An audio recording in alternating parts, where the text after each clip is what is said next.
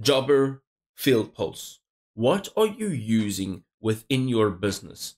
Let's check out their features and let's discuss some of their drawbacks and see which one you should choose. Let's go. First of all, jumping into Jobber, scheduling and dispatching. So, Jobber allows you to create schedules and dispatching jobs seamlessly. You can easily assign specific tasks to specific team members, which ensures that nothing gets overlooked and everybody takes responsibility for a particular task. The software also provides customizable invoicing options, and this also is supported uh, by online payments. Your customers can pay immediately, which really helps improve your business's cash flow and can reduce those late payments. With a fantastic CRM, Jobber also helps you manage client interactions and stores important customer information for your use. This enhances the communication and builds better relationships with your customers over time. Jobber's mobile app also enables field teams to access all the necessary information this flexibility really means that your team can be updated on job statuses and you can really capture customer signatures in real time. It also has a built in time tracking feature, which helps you ensure that all the hours worked are documented accurately. The data can be used for invoicing, improving overall project efficiency, and a whole lot more. Jobber also provides detailed reports on your business performance, you can analyze all your metrics such as revenue, profitability, and job completion rates to make data driven decisions instead of guessing in the dark. One or two of the uh, drawbacks, however, with Jobber is the cost. So, Jobber can be slightly pricey compared to some of the other service management tools in its sector. Also, smaller businesses or startups might find it slightly challenging to fit that into their budget without compromising essential features. Essentially, not everything is offered with the free package. Also, you may find that um, it's quite a complex user interface.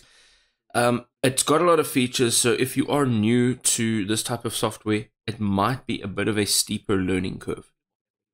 Let us jump into Field Pulse now and see what they actually have to offer. So, FieldPulse enables comprehensive job management, allowing you as a user to track job progress and manage workflows efficiently.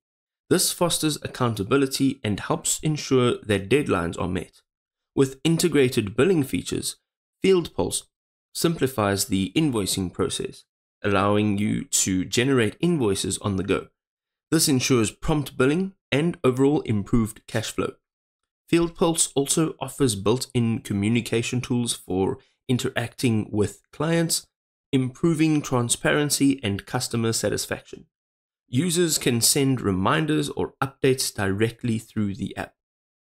The platform also provides features for tracking tools and equipment used across jobs, this helps ensure that resources are managed effectively and reduce the risk of loss or theft. FieldPulse includes time tracking capabilities for employees, making it easy to manage labor costs. Accurate timekeeping enhances payroll management and can assist in project cost analysis. You can also see that you, as a user, can upload and store important documents related to specific jobs and individual clients. This feature keeps all essential information organized and easily accessible, aiding in compliance and customer service. One or two of the drawbacks, however, when dealing with Field Pulse is the limited third party integrations. So, FieldPulse may not actually support as many integrations with other essential tools as some of its competitors. This could hinder your need for seamless connectivity across various platforms. Also, it has been reported that occasionally there are some performance lags, particularly when handling large volumes of data. Of course, this may hinder efficiency during critical operational moments. Now, while we were exploring, I'm sure you've already made your choice as to which one is your preference. Go ahead and drop it in the comment section below, and we will see you next time.